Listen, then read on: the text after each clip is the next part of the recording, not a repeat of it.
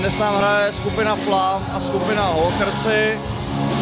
Opět je téměř vyprodáno a je bohatá tombola.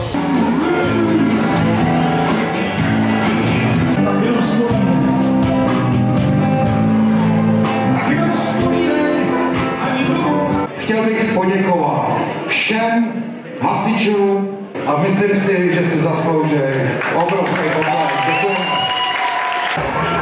for